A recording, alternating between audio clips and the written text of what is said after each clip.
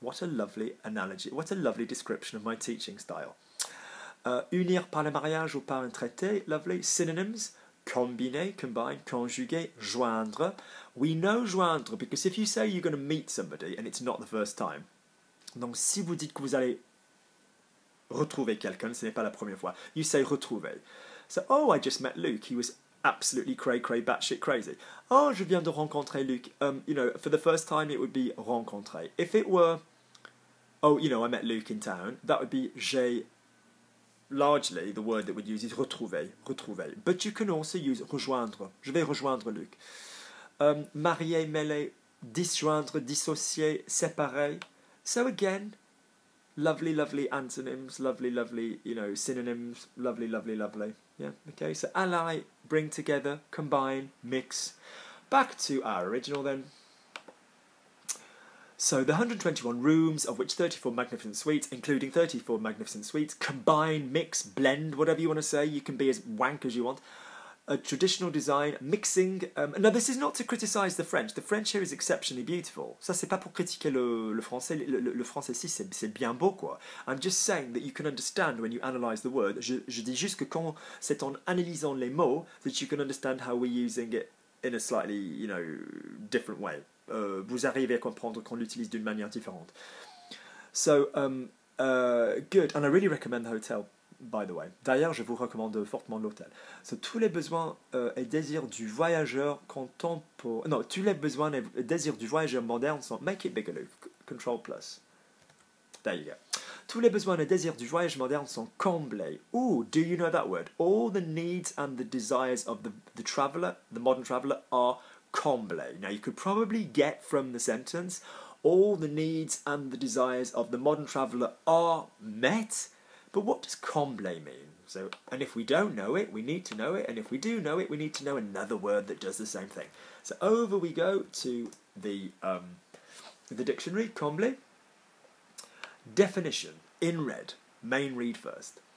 Remplir un creux un vide, une cavité de matériaux solides euh, de manière à ce qu'il n'y ait plus. Well, now I'm going across to the definition. So you'll often see that the first line in red will then be carried on in the definition because it's going with the number one.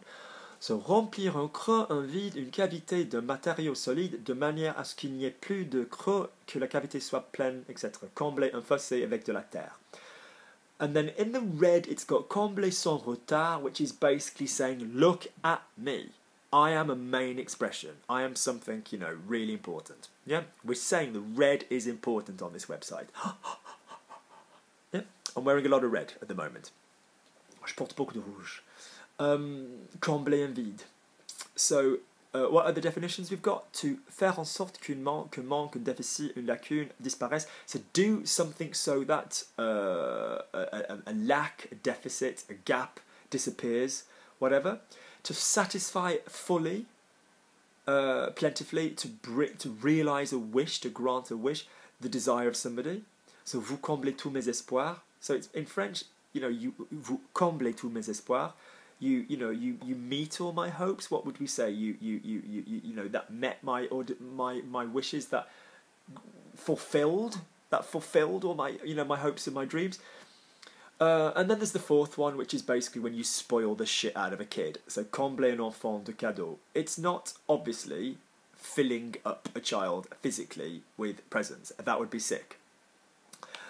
And slightly wrong.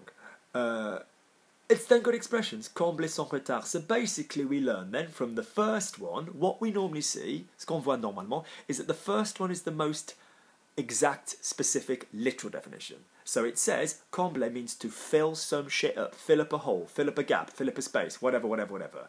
Um, physically. Then we start to see figurative usages. So that means like, you know, fill up a lack, fill up a deficit, as in there's no physical, physical space, but, you know, like a lack of emotion or something, or, you know, him coming into her life filled up, you know, a person can be comblé, whatever, fulfilled. So that's normally what happens with language. Is it normally has the most physical, literal, you know, expression first, and then it gets a bit fancy. Then we've got the synonyms and the antonyms: boucher, bourré, colmater, obturer, remblayer. Vide would be the opposite. Um, fine, fine, fine, fine, fine. All good. So over to the Connaught again. Um, bu- bu- bu-. Um, I believe it's so called because the Connaught, uh, the House of Connaught, was one of the royal families of Tribal Ireland, if I'm not mistaken. Euh, ça faisait partie des, des familles royales de, de l'Irlande, euh, des tribus, if I'm not mistaken. Somebody who's Irish can, can tell me. Euh, Quelqu'un qui est irlandais euh, peut me dire. Uh, yeah, that's where the word Connaught comes from.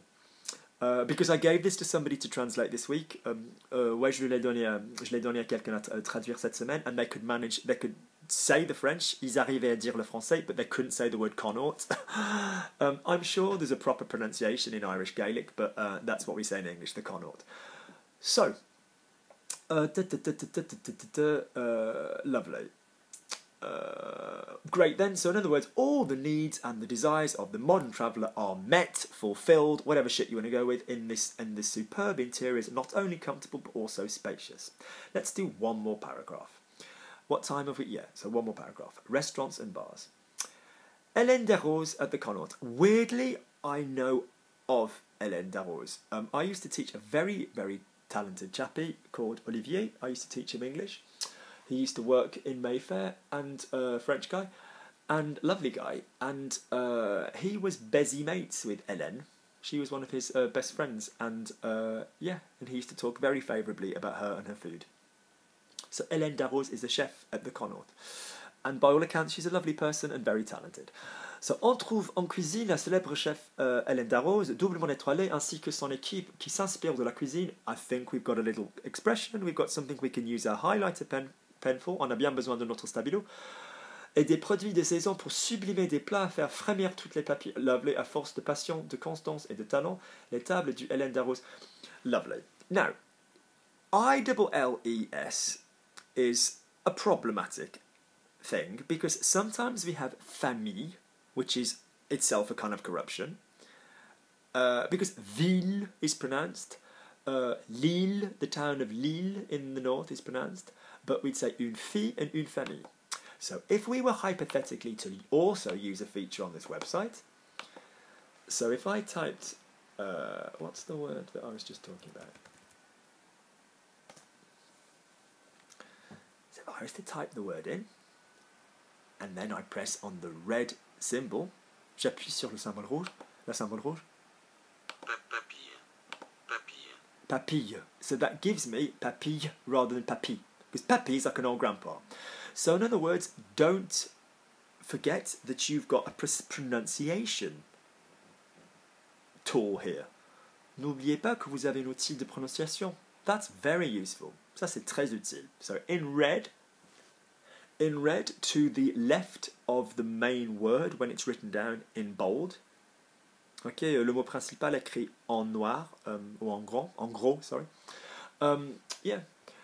So, da, da, da, uh, lovely, lovely, lovely. So, um, Hélène Darroze, on trouve, so we find in the kitchen the celebrity chef Hélène Darroze, doublement étoilé, so double starred. The starred system is referring to the Michelin guide, the, the you know the food guide um, for good restaurants. Ainsi que son équipe. There's a video I've done on ainsi que, but basically, il y a une vidéo que j'ai faite um, uh, j'ai fait because une feminine video. Um, uh, ainsi at the beginning of a sentence is and so, ainsi at the end of the sentence is like that, ainsi que is basically as well as, you know. So as well as ainsi que son équipe qui s'inspire de, who are inspired by regional cuisine. Okay, so notice the reflexive. So we've got a highlighter, s'inspirer de. That's an ABC verb using my method, all right? That's a that means a pronominal verb a reflexive verb, um, um, which which then uses a preposition. So qui s'inspire. Notice when I say pronominal verb, I accept that some pronominal verbs are reciprocal, but if I just say reflexive, you know what I mean. It's not strictly the same, but you get it. C'est pas strictement la même chose, mais vous, vous captez quoi. So, qui s'inspire de la cuisine régionale et des produits de saison pour sublimer. Sublimer. Do we know what sublimer means? Do we know what sublime means? Ooh, c'est sublime. We go across to sublimer. Go across. Uh, five minutes left if I want to do a three-parter. So let's type sublimer. Mm-mm-mm. Faire subir la sublimation. That's not going to help you if you didn't know what sublimer meant. Okay? Transposer, transposer en quelque chose de pur, d'idéal. So it's basically to purify, to make ideal. But basically, it's kind of become synonymous with, yes, yeah, so magnifier, purifier, transcender. It's kind of become synonymous with a fancy ass way of saying really make good. Pure, a purely good version of something. So it's kind of like improve, basically. Um, back we go. Um, des produits de saison pour sublimer des plats. So in other words, to kind of like really refine, refine, you know, um, dishes. À faire frémir toutes les papilles. So basically, this is our causative, to make frémir. If we were to look up frémir, go over to the dictionary. Frémir. You always have frémir and gémir. They always come together, especially in sexy books. Uh, uh, ok. S'agiter avec un bruissement vibré. Uh, les feuilles frémissent sous la brise. Uh, lovely. Uh, trembler convulsivement. Um, so basically, to move with a little rustle, yeah, to vibrate. Yeah, frémir is like a like a little movement. To tremble convulsively. Yeah. Okay, notably under the effect of uh, a strong uh, emotion. Yeah. Uh, frémir de honte, to shake with shame, kind of thing. All right. So basically, uh, in other words, and papille is taste buds. So it says it makes the taste buds tremble, quiver. All right. Lovely. Back over to the Connaught. So, uh, pour sublimer des, des plats, à faire frémir toutes les papilles.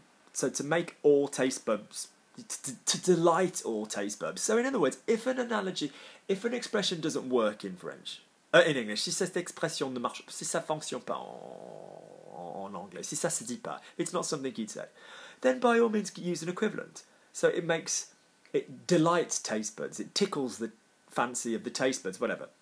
À force de passion, through passion. Now, à force de is an expression that I'm going to be talking about in a video very soon. All right, so à force de and uh, à fonction, um, faire en sorte que. If you've not had a video on that in a week, could you please remind me, somebody?